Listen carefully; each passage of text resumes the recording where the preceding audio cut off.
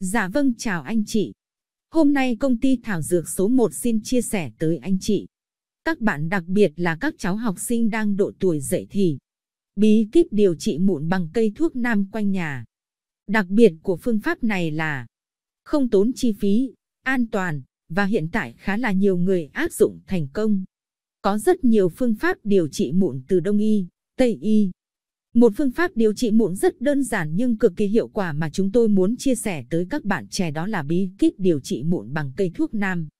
Kinh nghiệm điều trị mụn bằng cây thuốc nam đối với da dầu mụn luôn là nỗi ám ảnh của các bạn trẻ tuổi dậy thì.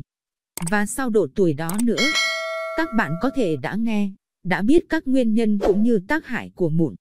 Kèm theo đó là hàng loạt cách điều trị mụn từ Tây Y đến Đông Y. Và sự thật thì rất nhiều người đã khỏi mụn nhưng cũng không ít người vẫn cứ bị nó đeo bám mãi. Ở đây, có lẽ nhiều bạn cũng giống như tôi. Từng hễ nghe ai mách bài thuốc nào là lại lăng xăng làm theo. Vừa là kinh nghiệm mà cũng là trải nghiệm. Bởi vì, còn gì éo le hơn là trong khi người khác cũng dùng bài thuốc đó và có hiệu quả rõ ràng thì bản thân mình lại không có tác dụng gì. Thậm chí tình trạng mụn càng trở nên tồi tệ. Đến bây giờ, nếu phải nói điều gì trước tiên và quan trọng nhất trong trải nghiệm điều trị mụn của tôi thì đó là tôi đã tạm biệt thuốc Tây, vì quá sợ những tác dụng phụ của nó. Thứ hai, tôi từ bỏ việc đắp mặt nạ dưỡng da vì đối với da dầu. Càng đắp thì lỗ chân lông càng bị tắc nghẽn, mụn càng nhiều hơn.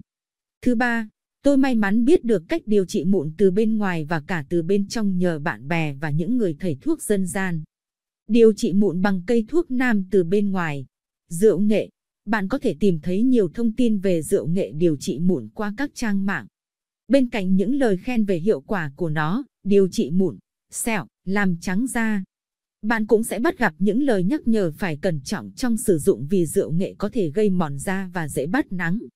Trước khi biết đến những tác dụng không mong muốn kèm theo từ rượu nghệ, tôi đã được bạn bè trong trường học giới thiệu nó với niềm tin tuyệt đối vào công dụng điều trị mụn dành cho da dầu. Thế là, Tôi xay nát khoảng nửa kg nghệ tươi, nghệ vàng, rồi ngâm với khoảng 1 lít rượu gạo, rượu gốc. Theo kinh nghiệm thì phải đem chôn keo rượu nghệ xuống đất khoảng nửa tháng mới đem lên sử dụng. Tuy nhiên, vì tôi ở trọ nên không tiện thực hiện công đoạn này, và thực sự thì lúc ấy tôi cũng không hy vọng nhiều vì thấy nó bình thường, đơn giản quá. Nước rượu nghệ được ngâm thành công sẽ có màu vàng, tùy theo độ da của củ nghệ và có mùi thơm đặc trưng của rượu và nghệ.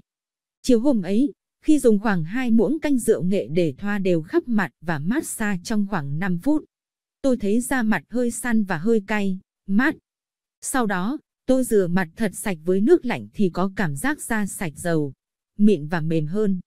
Cứ thế, ngày hôm sau, trước khi ngủ, tôi lại rửa rượu nghệ và được khoảng 3 ngày thì mụn đã giảm đáng kể. Tôi mừng thầm nhưng rồi nhận ra mình sẽ không hết mụn bởi còn bị nóng trong người. Tất nhiên, cần phải làm gì đó để điều trị mụn từ bên trong, điều trị mụn bằng cây thuốc nam. Điều trị mụn từ bên trong bằng lá mật gấu và bài thuốc dân gian một dịp tình cờ. Tôi đến nhà một người quen và được mời nước.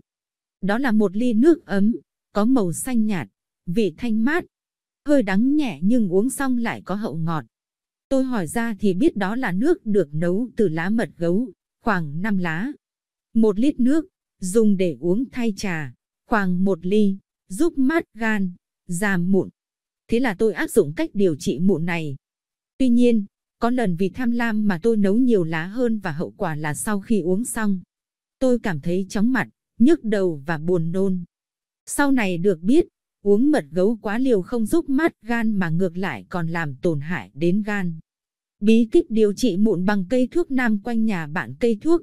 Ốc 2 năm trước không có phản hồi rượu nghệ điều trị mụn bằng cây thuốc nam có rất nhiều phương pháp điều trị.